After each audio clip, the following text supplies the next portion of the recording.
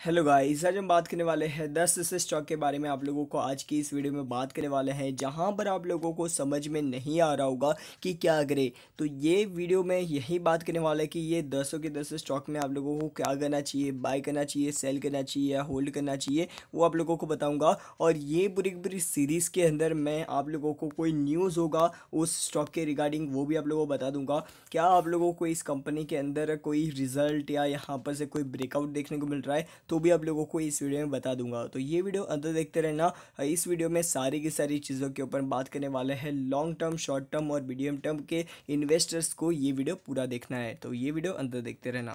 सबसे पहले हम बात कर लेते हैं नज़ारा टेक्नोलॉजी के बारे में। नज़ारा टेक्नोलॉजी रिसेंटली इसका आईपीओ आया था और कंपनी का आईपीओ बहुत ज़्यादा बेहतरीन रहा था। कंपनी ने प्रीमियम में लिस्टिंग की थी और अच्छे खासे प्रीमियम में लिस्टिंग की थी। तो कंपनी की यहाँ पर बात करें तो यहाँ पर कंपनी के यहाँ पर आते ही आ, वन मंथ के अंदर आप लोगों को डाउनफॉल देखने मिल रहा है। सिक्स मंथ की बात करें तो आप लोगों को ऑलमोस्ट फ्लैट आप लोग देख सकते हो फोर परसेंट की यहाँ पर से अपो देखने को मिल जाता है। और वन ईयर की बात करें कंपनी अभी नई नई लिस्टेड है और मार्च के अंदर ही लिस्ट हुई है। तो यहाँ पर से आ, ये इसका हाई की बात करें और लो की बात करें तो आप लोगों को सबसे पहले कंपनी ने हाई लगाया था। चौदह सौ हाई लगाया था two thousand twenty four rupees के आसपास, ट्वेंटी फाइव रुपीज़ के आसपास का। और उसके बाद यहाँ पर से कंपनी ने लो लगाया था चौदह सौ बत्तीस रुपये के आसपास one thousand four hundred thirty two rupees के आसपास का, ठीक है?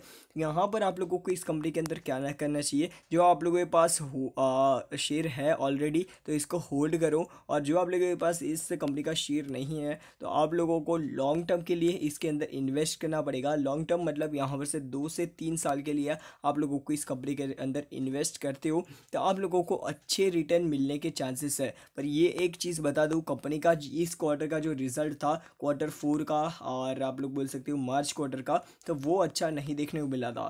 तो यहाँ पर इसी की वजह से इस कंपनी के शेयर के अंदर प्रेशर प्रेशर देखने को मिल रहा है, और इसी की वजह से ये कंसल्टेशन जोन में अभी चल रहा है। वरना तो ये शेयर है ना, कब का यहाँ पर से ऊपर चला गया होता, ठीक है? तो यहाँ पर से कंपनी अभी रिज़ल्ट अच्छा देती है तो आप लोगों को इस कंपनी के अंदर अच्छा फ़ायदा हो सकता है। वरना आप लोग इस कंपनी के अंदर थोड़ी सी छोटी सी अमाउंट लेकर बैठ सकते हो। मतलब आप लोग एक दो शेयर लेकर बैठ सकते हो, कोई भी दिक्कत नहीं होगी। तो ये चीज़ याद रखना।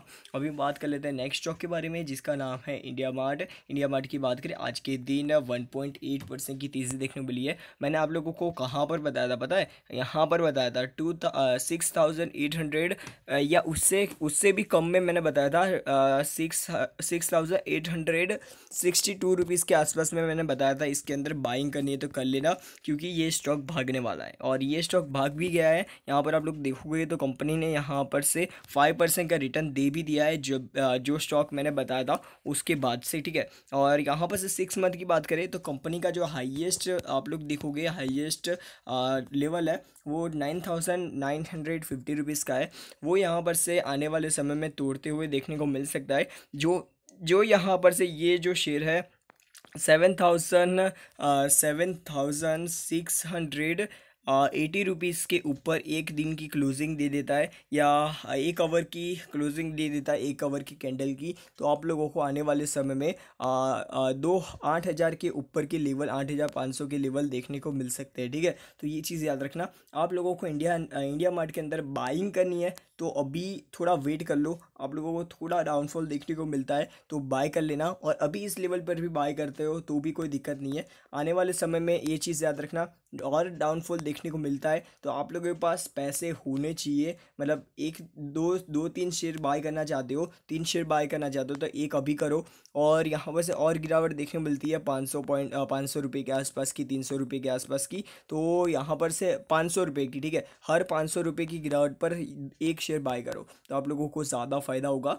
अभी हम बात कर लेते हैं Punjab National Bank. Punjab National Bank की बात करें तो यहाँ पर से ब्रोकरेज फर्म है उन्होंने थर्टी थ्री रुपीज़ का टारगेट बता दिया है। वो आप लोग देखोगे तो यहाँ पर से न्यूज़ सेक्शन में देखने को मिल जाएगा।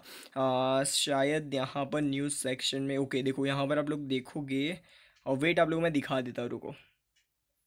तो यहाँ पर आप लोग देख सकते हो थर्टीन थर्टीन आवर्स पहले ही यहाँ पर से ये रिपोर्ट आई है और यहाँ पर इकोनॉमिक्स टाइम के द्वारा यहाँ पर से क्या बताया गया है थर्टी थ्री रुपीज़ का टारगेट प्राइस मतलब यहाँ पर से आने वाले समय में ये पंजाब नेशनल बैंक के अंदर गिरावट मिलने के पूरे चांसेस बताए जा रहे हैं। तो इसी की वजह से बोल रहा हूँ आप लोगों को इस कंपनी के अंदर, आप लोगों के पास है इस कंपनी का शेयर तो आप लोग अभी होल्ड मत करना क्योंकि आप लोग सेल कर देते हो तो आप लोग एक बार प्रॉफिट बुक कर लो और यहाँ पर देखो देखो, आप लोग प्रॉफिट में हो ना प्रॉफिट में हो तो आप लोग प्रॉफिट बुक कर लो। और यहाँ पर से लॉस में हो तो आप लोग होल्ड करना, ठीक है? लॉस में तो होल्ड करना और प्रॉफिट में तो प्रॉफिट बुक कर लो, ठीक है? यही मेरी सलाह रहेगी क्योंकि यहाँ पर से आने वाले समय में इसका जो शेयर की प्राइस है आप लोग देखोगे सिक्स मंथ का चार्ट पैटर्न वहाँ पर आप लोगों को सेम टू सेम सिनारियो देखने मिल रहा है। यहाँ पर ये कंपनी यहाँ पर से कंपनी ने यहाँ पर एक बार ऊपर लिखा लेवल दिखा दिया, उसके बाद डाउनफॉल देखने को मिला, फिर से यहाँ पर से ऊपर का लेवल दिखाया है और फिर से डाउनफॉल मिलने के पूरे चांसेस बताए जा रहे हैं।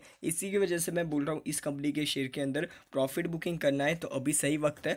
थोड़ी बहुत प्रॉफिट बुकिंग कर लो तो आप लोगों को ज़्यादा फ़ायदा होगा। और उसके बाद फिर से नीचे के लेवल पर आता है, एक इकतीस बत्तीस रुपये के आसपास के लेवल पर आता है ये शेयर तो फिर से इसके अंदर बाइंग कर सकते हो, ठीक है? तो ये चीज़ याद रखना। अभी हम बात कर लेते हैं नेक्स्ट शेयर के बारे में रेन इंडस्ट्री रेन इंडस्ट्री की बात करें तो यही सही टाइम है। एटी फाइव रुपीज़ के आसपास की इसकी यहाँ पर से ब्रेकआउट देखने को मिल रहा है। एटी फाइव रुपीज़ या एटी एट रुपीज़ के आसपास इस कंपनी के शेयर को आप लोग बाई करते हो तो आप लोगों को इसके अंदर दो सौ चार रुपये या यहाँ पर से दो सौ दो रुपये का टारगेट लेकर शॉर्ट टर्म के लिए ट्रेडिंग कर सकते हो शॉर्ट टर्म के लिए ट्रेडिंग कर सकते हो स्विंग ट्रेड कर सकते हो। तो ये ही आप लोगों को सलाह रहेगी सिक्स मंथ की बात करें तो ये कंपनी यहाँ पर से देखो कभी कभी भागती है आ, नहीं भागती है तो या क्या करती है यहाँ पर से थोड़ा डाउनफॉल उसके बाद ऊपर उसके बाद ये नहीं भागी है ऊपर जाने के पूरे चांसेस बताए जा रहे हैं। और इसके फिफ्टी टू वीक हाई की बात करें ना तो वो यहाँ पर से आने वाले समय में तोड़ता हुआ देखने को मिलेगा। तो ये चीज़ याद रखना आप लोगों को। इसके अंदर बाइंग करने का यहाँ पर से अच्छा ऑप्शन है अच्छा अपॉर्चुनिटी है तो इसके अंदर बाइंग करके चल सकते हो।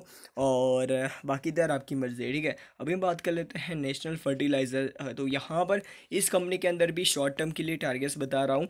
आप लोगों को इस लेवल पर बाय करना है तो कर सकते हो, कोई दिक्कत नहीं है। आप लोगों को यहाँ पर से अच्छी खासी रैली देखने को मिल जाएगी। क्योंकि यहाँ पर आप लोग देखोगे कंपनी का जो शेयर का प्राइस है सिक्सटी एट रुपीज़ के आसपास चल रहा था, तब अच्छी खासी अपमू देखने को मिली। और यहाँ पर से ये अपमू, देखो, यहाँ पर आने वाले समय में वन टू टू मंथ के लिए इसका इसके अंदर होल्ड करके रखना आप लोगों के पास है तो क्योंकि जो, देखो, आप लोगों को मानसून आने वाला है, बारिश की सीज़न आने वाली है तो वहाँ पर फर्टिलाइज़र जो कंपनियाँ होती है, उनको अच्छा खासा बूस्टअप मिलेगा। उनके जो सेल्स है वो बढ़ेगी और यहाँ पर से जो बारिश अच्छी आती है खेडूतों को यहाँ पर से फार्मर्स को अच्छे यहाँ पर से आप लोग बोल सकते हो कि फार्म होता है अच्छी तरीके से। तो ये जो शेयर है, ये एनएफएल है, जैसे कि यहाँ पर से जो भी फर्टिलाइज़र सेक्टर से जुड़ा हुआ या आप लोग बोल सकते हो कि बायो बायोडिग्रेबल या आप लोग बोल सकते हो कि फर्टिलाइज़र सेक्टर से जुड़ा हुआ कोई भी शेयर के अंदर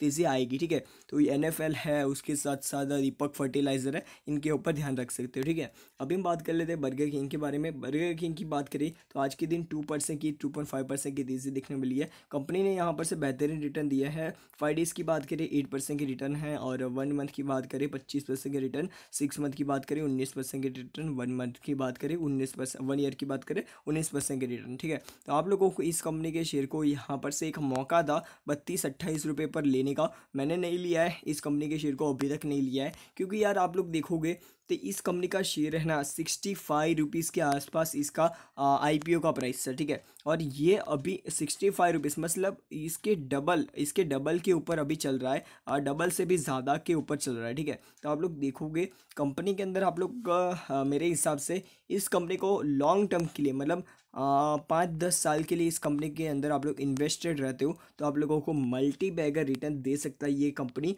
तो ये चीज़ याद रखना, इसके अंदर मैं बहुत ही जल्दी इन्वेस्ट करने वाला हूँ, बहुत ही जल्दी मतलब एक से दो महीने के अंदर आप लोगों को इसके अंदर मैं पोजीशन बना लूँगा। मैक्सिमम बोल रहा हूँ, ठीक है? मैक्सिमम एक से दो महीने के अंदर इसके अंदर मैं पोजीशन बना लूँगा। और देखते हैं, यहाँ पर आजकल में भी मैं पोजीशन बना सकता हूँ और ज़्यादा गिरावट देखने को मिल सकती है तो ठीक है?